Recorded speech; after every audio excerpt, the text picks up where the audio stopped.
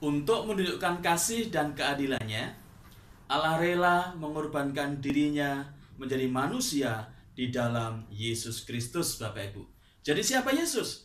Dia Allah yang telah menjadi manusia. Apa yang dilakukannya? Izinkan saya untuk memperagakannya. Seandainya tangan kiri saya adalah manusia dan tangan kanan saya adalah Allah. Allah memberikan anugerah hidup kekal kepada manusia secara gratis atau cuma-cuma.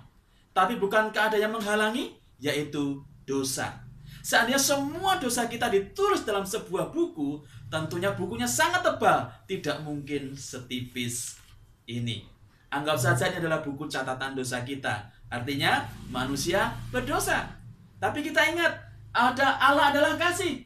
Artinya dia begitu mengasihi manusia dan tidak ingin menghukum kita manusia. Tapi Allah yang sama dia adil. Dia membenci dosa dan harus menghukum kita manusia yang berdosa. Bukankah ini sebuah dilema? Ingat cerita Samila? Kasih dan adil bisa bertemu bila ada pengorbanan. Begitu pula dengan Allah.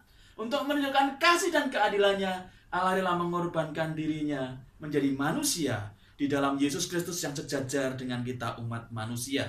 Tapi jelas ada yang membedakan. Manusia berdosa, Yesus sempurna.